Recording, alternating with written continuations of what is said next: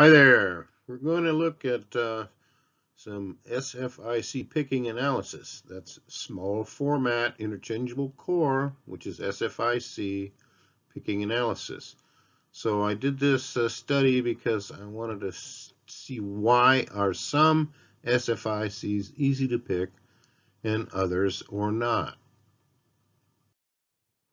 Okay, here we have a small format interchangeable core in a mortise cylinder. We're looking right down on it. See the typical figure 8 and beside that we have a control key.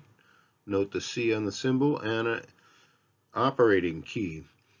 If you observe it, notice that those are the A keyway, which is the most common keyway.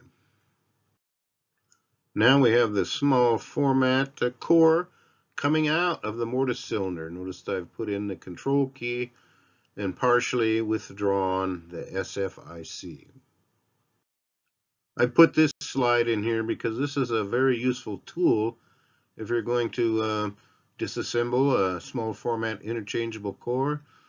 This is the part number. It's made by Lab and it's called the I-Core Annex. This is a view of the uh, I-Core Annex. There's the big uh, block on the left, which is the main body of the tool. I have our core, small format core, partially inserted in the in the in the block, the lab annex. And down on the right is the code book. This code book goes in the bottom of the uh, main steel block. And when you eject the pins through those little holes, you get all the pins into the code block. That way you can uh, see what the pinning of the core is. Now I just showed this slide just to show you there's an ejector tool. The core is all the way in in the annex and I'm going to push out all the pins into the code book. So here I've ejected all the pins in the code book. The core is now empty and I pull it back out of the annex. This is a recreation of the code book contents. I've actually uh, discarded the springs and the caps and I've flipped all the pins over and I've used brand new lab pins so that we can see it more clearly. We'll go to the next slide. Okay, this is a view of all the pins. These are brand new lab pins in the control code book. So I want you to notice here, I'm going to use the uh, laser pointer. So notice that the stack heights in each chamber are all the same. We can go down and look down here. This number one, this indicates this is chamber one, chamber two, chamber three, four, five, six, and seven. If you had a six pin lock, it would be only numbered one through six. Because in the case of Best locks, chamber one is at the rear of the lock. This is chamber one, it's the tip of the key.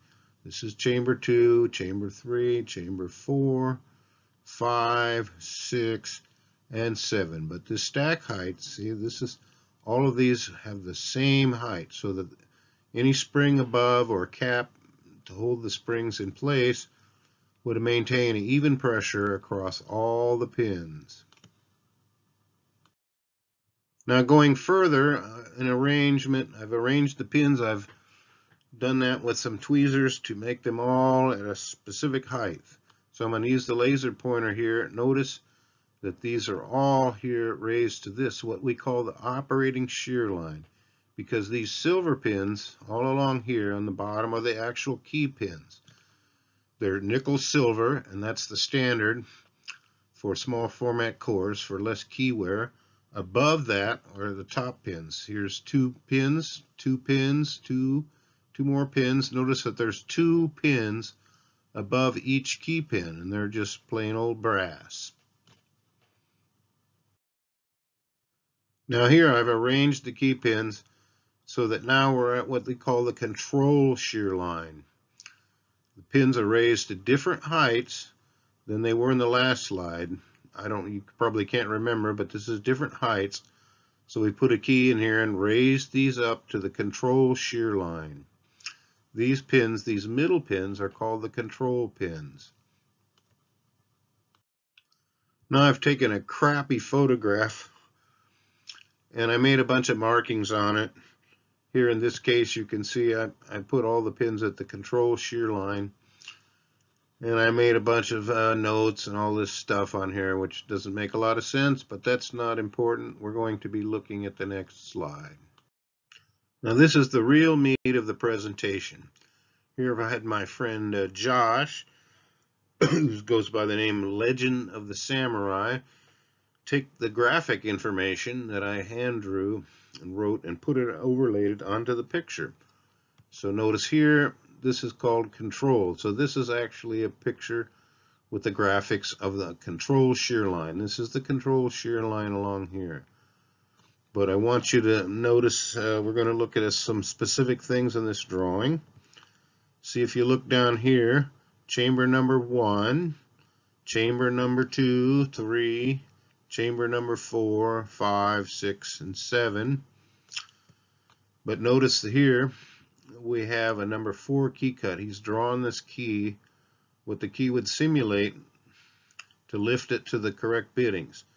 See the root depth here? This is the actual height that the key cuts are made from the bottom of the key. So in this case here, a number four key cut raises the pins up to 268 thousandths. So the so the control key is a four, seven, three, two, five, six, seven. So, so now that we've looked at that, let's look at the key pins. This is a number three. It says 3A. It's 147 and a half thousandths thick. Above that is an 11. It's notice it's an 11B. We have the letter B designation and also on this pin a number 9 in order to specify them as top pins. So the letter A means it's a key pin and you can see them they're silver in color because they're nickel silver made for better wear resistance. Now these are brand new pins from Lab. I put them in here because they're nice and clean and clear and that's the way they're made. So in this case we've arranged all the pins along the control shear line. See the control shear line right along here. So we've had to lift the key pins up to a 4 to bring it up to the control shear line. And in the second chamber, we brought it up with a number 7 cut, a number 7 cut to bring it up to the control shear line. And here in chamber 3, we use the number 3 cut to bring it to the control shear line. That's an and here a number 2 cut on the key in chamber 4 brings it to this control shear line. Likewise here a cut 5 of the key, see this is the key profile, brings this pin stack to the control shear line. Here chamber 6 we have a 6 key cut and it brings it to the control shear line, lifting all the pins to the control shear line. And here on this control shear line in chamber 7, we have a number 7 cut at 230 and a half thousandths. So now that you've seen most of the information along here, I want to point one other thing out. Let's look at this pin here. See this pin here, a number 10B. So notice that this is 125 thousandths inch. This specifies how tall this pin is, how thick it is. But notice that the control shear line, this is a distance between the control shear line and the operating shear line, is 125 thousandths. That's the exact same number as here. That's 1 eighth of an inch. So the distance between the control shear line and the operating shear line is 1 eighth of an inch. So if we had a number 10 key pin in place here, instead of uh, this number 11, we would actually arrive at both the operating shear line and the control shear line at the same time. But in this case, we've picked the control shear line. We haven't uh, got to the operating shear line yet. So this is going to be the first click on this chamber. So now we're looking at the operating shear line. Above, we've labeled this as operating, as opposed to the other one said control. So here, let's look at chamber number one. We have a number three key cut. Remember, we're looking at the key cuts all along here. This is a different key than the control. So in chamber number one, we have a three cut on the key, and we have a matching number three key pin. This is a number three A, Remember A is the designation for the key pin and B's are for the top pins above the key pin. So in chamber number two, down here, we have a number eight key cut with a number eight key pin. Likewise here in chamber three, we have a number eight key cut and a number eight key pin. We can do the same over here. In chamber four, we have a number five key cut and we have a number five key pin. Well, you notice, of course, how these match. That's correct. So a number two key cut, we need a number two key pin. In chamber six, we have a number three key pin and we have a number three key cut. Chamber seven, same thing, a number six key cut with a matching number six key pin. So that's really the way that this is made, the way it's pinned up. I want you to notice something else here. I'm going to turn on my laser pointer again and at number this here uh, this this particular pin is a number 10 it's a hundred and twenty-five thousandths one eighth of an inch tall from here to here an eighth of an inch thick. But notice over here the control shear line from operating to control is also 125 thousandths an eighth of an inch. So if we had this number 10 key pin over here in this particular spot instead of this 11 then we would have the key cut raising the pin to both the operating and the control shear line at the same time. But in this case, we don't. We have a number 11 here. So in this case, if we lift this pin, we're picking the lock, we lift this pin here, number 3 pin, up, we hit this operating shear line Secondly, we're going to hit this one first. But notice in this chamber, chamber number two, if we lift this pin up, we're just picking it, we're lifting it up.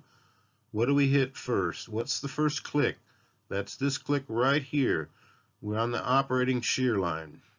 So if we look at chamber number three, an eight key pin, we're lifting it up with our picking tool and we hit this shear line first. So that's the first click. But over here, we also have done the same thing. In chamber number four, we've hit the operating shear line before we've arrived at this shear line.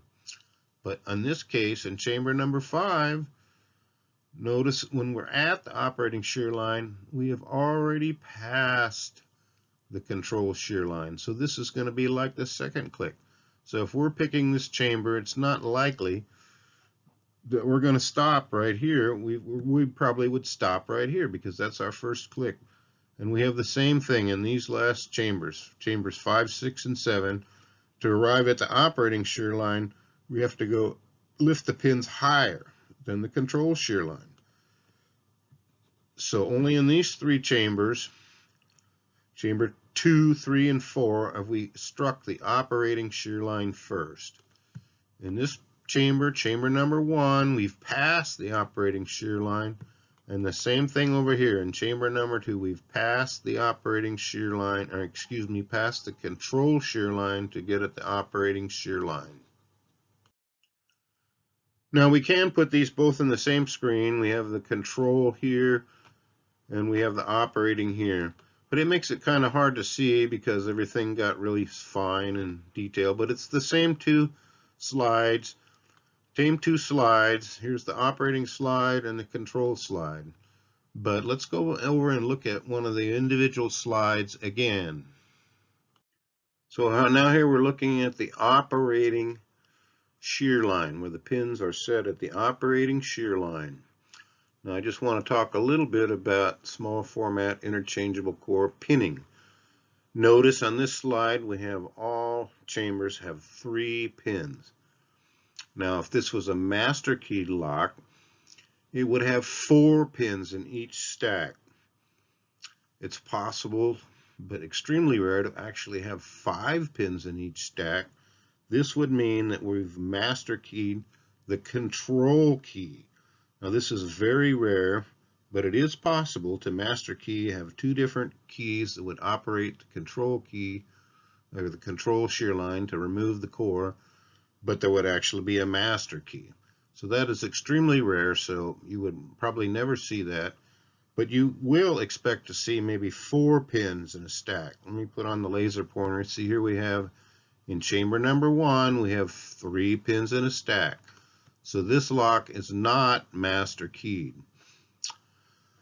but I want the main point that I want to notice is that when I raise everything, pick the pins to the control or the operating shear line, which is shown here, it's not the same pins as in the operating, is in the control shear line. Some of the pins are above and some are below. So when I'm in operating, only the operating shear line will open the cylinder and it would not just as well open the control shear line. If I had this pin in number 10 over in this position here, then the control shear line and the operating shear line would be at the same height so that that chamber would unlock both the operating and the control shear line at the same time.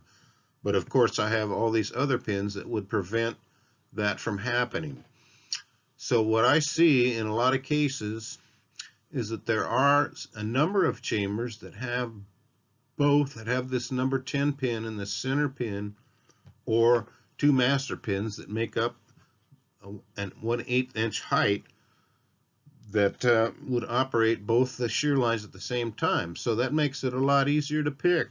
If you just pick and you get one click and it runs the operating shear line and the control shear line at the same time, then that makes it a lot easier to pick. But in this particular case, notice we have a 3, 8, 8, 5, 2, 3, 6, which is not the same as the control shear line.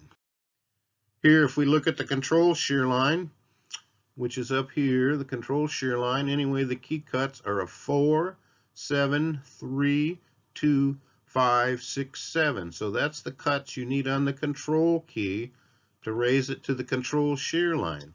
Now the point is that the control shear line, the key that raises it to the control shear line is a completely different key than the operating key. So what you have is two independent locking systems that are unrelated to each other. So you have a locking system for the control shear line, and you have a locking system for the operating shear line.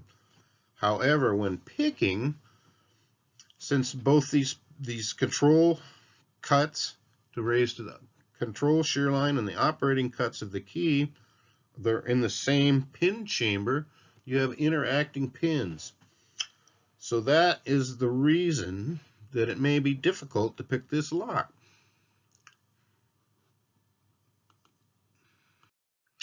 So now let's consider picking this lock. We're going to look at chamber number one here. We put them both together. May be difficult to see the graphics, but that doesn't matter. What we're concentrating on is we're going to lift this number pin. We're going to lift the front pin, which in this case is called chamber 7, because that's the best uh, way that they're numbered from the rear or the tip of the key to the bow. So we lift this pin up, well, here, and but now look here. We're going to hit the control shear line first. That's going to be our first click. We have not got to the operating shear line. So click, we got a control. We go to this next chamber, chamber 6 click, we hit the control shear line. Let's go over to the next chamber, chamber number five. We lift here, click, and we've hit the control shear line first, all right? So there we stop. Now we're not considering binding order or any of these other factors, grease and grime in the cylinder making it hard to feel the clicks or anything else. We're just looking at pins. So let's move on to chamber number four. We start lifting.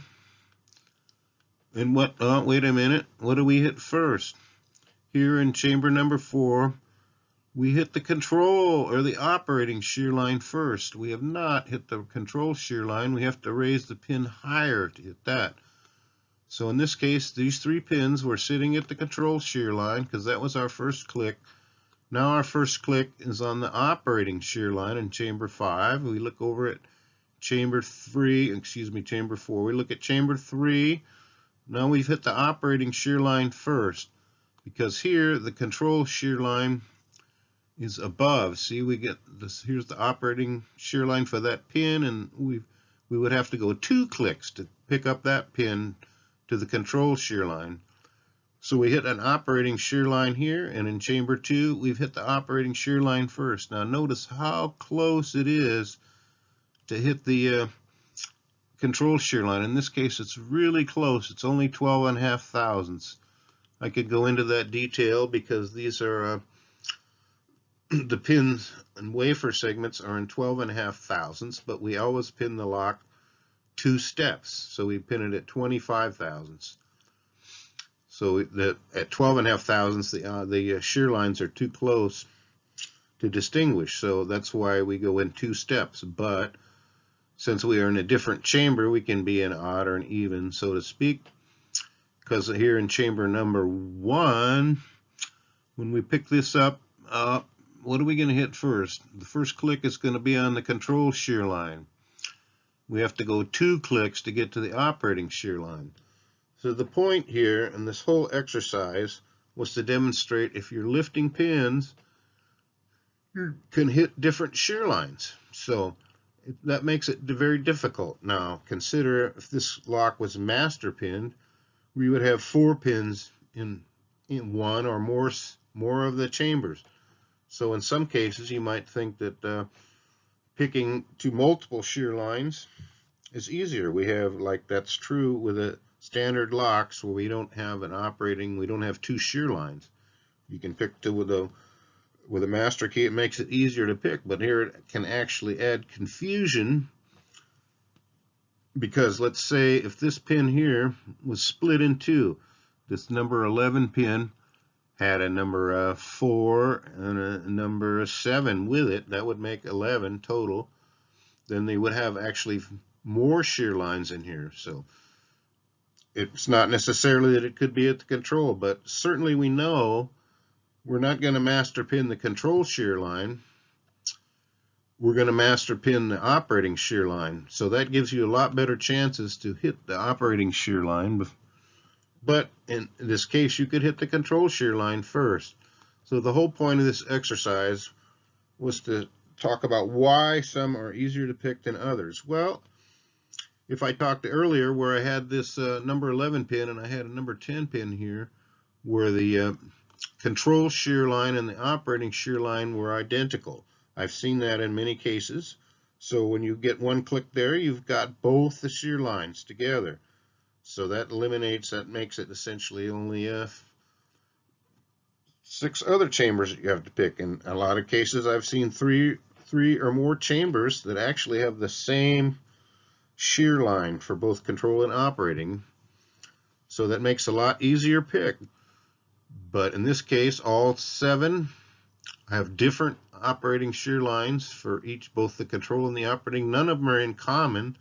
So this lock is going to be a lot harder to pick than locks that would have the same key bitting that would operate both the control and shear line in one chamber. It won't open the lock, to either one. I mean, if you pin the chambers, all the chambers with the same bitting for both control and operating, then it really wouldn't work very well because you turn the key and the control shear line tries, the control lug tries to retract and the key tries to rotate and it would be a big mess.